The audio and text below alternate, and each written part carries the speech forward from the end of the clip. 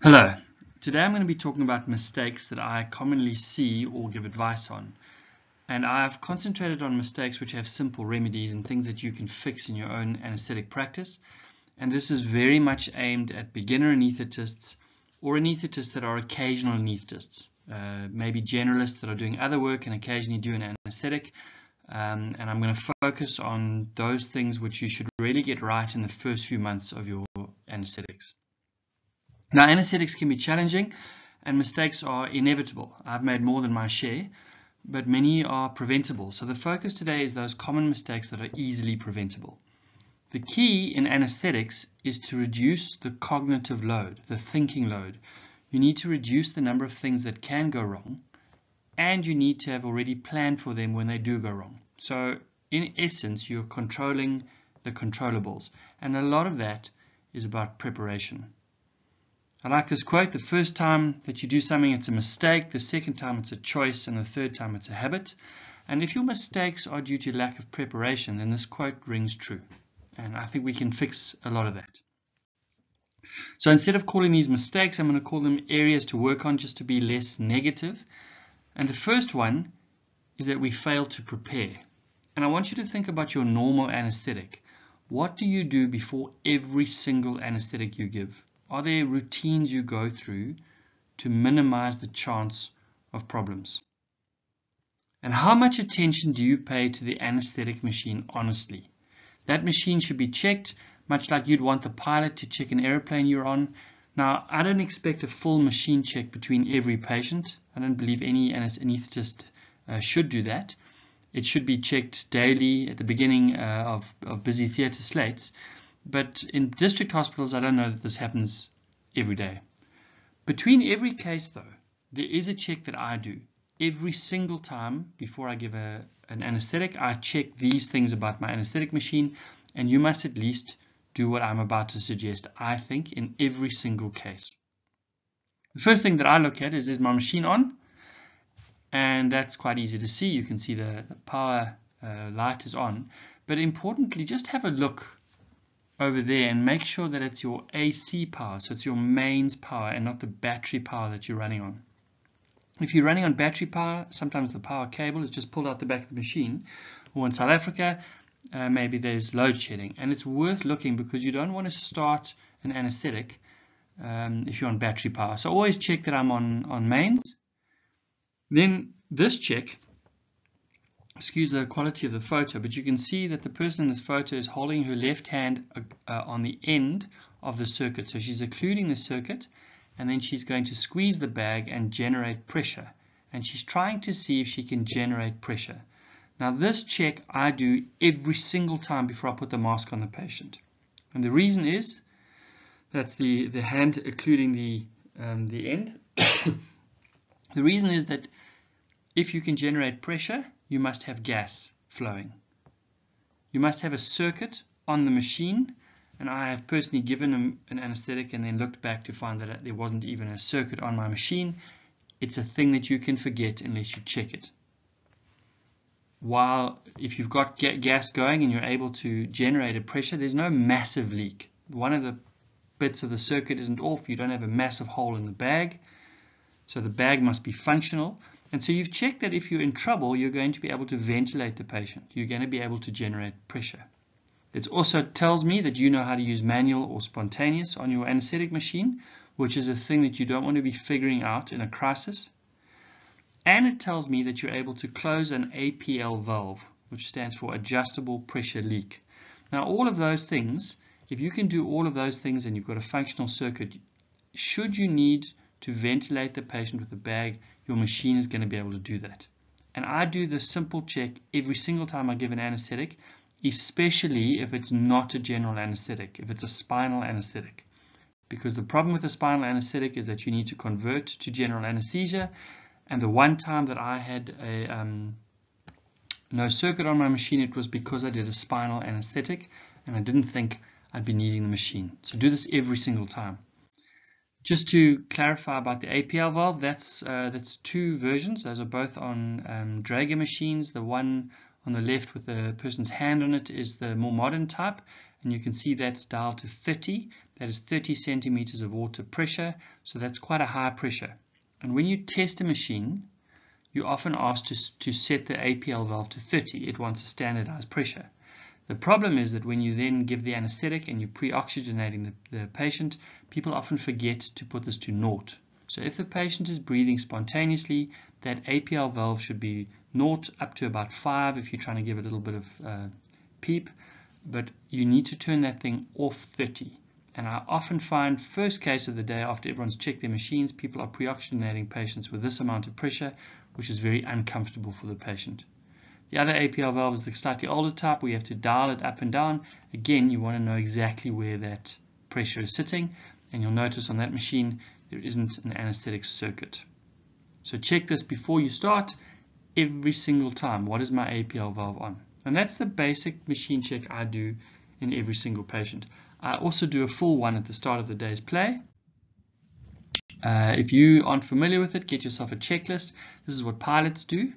So complex machinery needs checking, and you'd want your um, your pilot to check their machine. Your patient wants you to check your anesthetic machine. And if you're looking for um, a, a, a, reminder of how to do that, uh, this is called this is a video called the anesthetic machine check. It's given by Garth Horston, who's a specialist anesthetist. Um, it's 12 minutes long and he'll take you through what's required for the diploma of anesthetic machine check and it's on the YouTube channel. If you just look for it, it's in there. Um, and it's an excellent way to revise. Do this every now and again because you'll be surprised at some of the checks that you do and you'll pick up other areas. But I don't expect everyone to be at this level. You need at least to be able to generate pressure with your circuit and your, uh, your bag. Now, area number two is that we don't examine our patients properly. Now, I know that you know that you should examine all of your patients. I also know that we anesthetize and operate on patients who haven't been examined. We assume it's been done and you're in a rush, and, but sometimes everyone makes the assumption that someone else has examined the patient and no one has. Now, I could tell you that you need to do a top to toe. That is the way that you should do it. But in every single patient, you need to have active thoughts on two areas, your fluid assessment and the heart rate in every patient, every single time. Now, the first about, uh, when we talk about fluids, hypovolemia and anesthesia don't mix well. If you put a spinal anesthetic into a hypovolemic patient, the blood pressure is going to fall catastrophically. If you give a normal dose of induction agent in a general anesthesia, but the patient is hypovolemic, the same is going to happen. That blood pressure is going to drop precipitously. So you have to diagnose and fix hypovolemia before you start. If the patient's actively bleeding and you know the patient's hypovolemic but you have to continue, then you give much less anesthetic, but there's more on this later. So you need to diagnose hypovolemia. so every patient gets this assessment. How do you do it? Well, you take a history. Is the patient thirsty? Thirsty patients, uh, they're telling you something. You should do a clinical examination. What's the heart rate? What are the mucous membranes? What's the capillary refill time? You know how to do this. If, you, if you're a little bit more advanced, you can do straight leg raises. Um, but this is a clinical assessment in addition to the history. And finally, consider the pathology. Are you expecting this patient to be behind in fluids? Is it a cesarean section and the patient hasn't been able to eat for 12 hours or drink? Is the patient septic? Is the patient bleeding? All of these things that make you dehydrated, potentially hypovolemic. And if you're not sure and you're a beginner, give the fluid. So if you're not sure, just give them a bolus. Rather be a little bit over than a little bit behind. The second area that you must look at is the heart rate. And obviously the heart rate might suggest that you're behind in fluids but it also has other causes. And your answer to the heart rate question must influence the technique you choose and the action you take. So the principle here is that high heart rates must be respected. You must have a theory as to why that heart rate is high. Now, if the blood pressure is also high and the heart rate's high, there's lots of simple explanations for that that are not so worrying. So anxiety, pain, that sort of thing, sympathetic drive. So high blood pressures and high heart rates are less worrying than low normal blood pressures in the presence of a high heart rate because then the patient's compensating for some process or the the heart rate is a response to sepsis or bleeding or hypovolemia. And those patients you need to worry about. So um, there is a, an index called the shock index, which is mainly used in trauma patients, but it's finding applications uh, elsewhere, which is simply the heart rate divided by the systolic blood pressure. Um, and then there's all sorts of values that are used to indicate what's the likely uh, prognosis. But what I suggest is that you just look at whether the heart rate is higher than the systolic blood pressure. And every time you see the heart rate higher than the systolic blood pressure, you must think, is it fluids that I must give? Must I give less anesthetic? Why is this happening? And nothing is static in anesthesia, nothing ever. It's always changing. So something has happened that's made the heart rate get higher than the systolic blood pressure, and you need to respond to that. Which brings me to area number three, that we fail to titrate the anesthetic. We give one recipe. Now, if you've got one recipe for every problem or for every patient, then you have a problem. Um, and that's something we need to fix. Outside of perhaps rigid ketamine recipes, uh, most anesthetics require, certainly general anesthetics require you changing the doses depending on the stimulus and the patient's response and how well the patient. And so you need to adjust your anesthetic. Old patients, well, they need less drug to go to sleep. They need less drug to keep them asleep, and it takes longer for them to work because of the lower cardiac output. So if you give your first dose to put the patient to sleep, and it's not working and you give the next dose, by the time they both kick in, that might cause a cardiac arrest. And really early in my career, I did this too by giving a normal dose to an, an elderly patient. The patient ended up fine, but it's because I didn't adjust my dose to the age of the patient. So you need to consider the age. Younger patients might need much more. And, and quite often the dose you give um, is, is half the dose you need. So you need to adjust your doses to age. Sick patients might need much less. I often say if they're quite sick, you give half your induction agents. If they're very, if they're very sick, you give a quarter. And if they're critically ill, maybe you just wave the amp under the nose. They need tiny amounts of drug to keep them asleep and to put them asleep. And if you give them the full dose, it can cause cardiovascular collapse. So adjust your dosing to the condition of the patient. Remember also that the condition of the patient is changing with the surgery. So that when there's a lot of stimulus and a lot of surgical pain, you will need to go up on your anesthetic and up on your analgesia. When the blood pressure drops, you must think about what the cause of that. So when the blood pressure and the heart rate change, there needs to be a, a, a, corresponding change in the amount of anesthetic and analgesia you're giving. Higher blood pressures, maybe more analgesia, more anesthetic. Low blood pressures give less anesthetic. Low blood pressures might need more fluid, more blood, maybe you need to give a vasopressor. If the blood pressures are up and down, your chart needs to look busy with all the responses that you're taking. There's no single dose that should work for the whole anesthetic. You are going to be changing these things all the time. And it's not a sin to have what we call an alpine anesthetic where the blood pressures are up and down, but it is to not respond to that. So you must titrate the anesthetic. And if we're talking about common anesthetic errors, it's that when something goes wrong, there's anaphylaxis or there's bleeding or the patient becomes unstable, often the beginner anesthetist forgets to dial back the gas. And I often, the first thing I do is I just turn it off completely and allow the patient to get lighter and that will stop that depression of the blood pressure and the, and the cardiac output. Area number four is that you must respect the extubation period. Now, extubation, the complications are underestimated. We all worry about the intubation.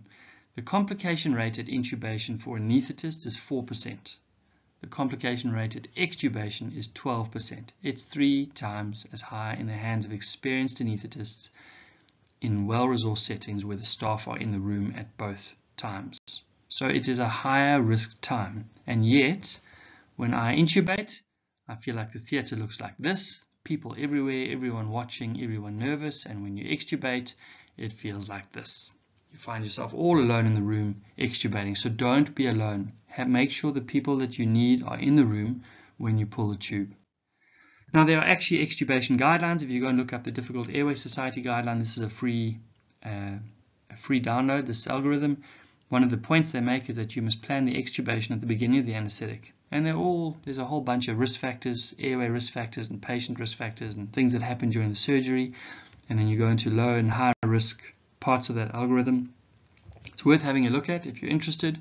What I would suggest in the district hospital for the beginner is that everyone gets an awake extubation. So just take deep extubations off the table. And by awake, I mean really awake. They're looking at you, they're nodding and answering questions, they're trying to grab the tube with their own hands.